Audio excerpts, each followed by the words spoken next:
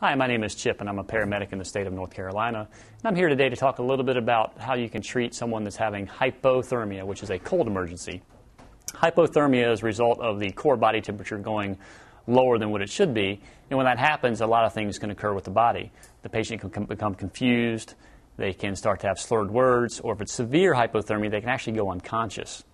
A couple things if it's severe hypothermia, they've been caught in the, in the wilderness for a long time, they've been dropped into a cold body of water that's sub-freezing, then we need to make sure that we dry them off as soon as we can, get any wet clothing off, apply dry blankets, towels, things like that to help warm them back up. But at the same time, we don't want to move them very much. If we jar, drop, or shake the person that's in a severe hypothermic state, it can actually cause cardiac dysrhythmias, which simply put, uh, they can actually put the patient into a cardiac arrest or a situation where their heart would actually stop. So, with that in mind, again, warm blankets and towels. Try to keep them as warm as possible and dry. Don't jar them very much. Make sure you've initiated 911 and the ambulance is on the way.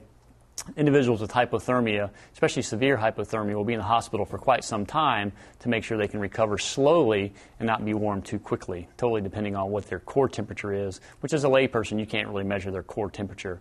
Uh, that's something the EMS professionals and healthcare workers will do for you. My name is Chip, and this has been basic treatment for the layperson to take care of hypothermia.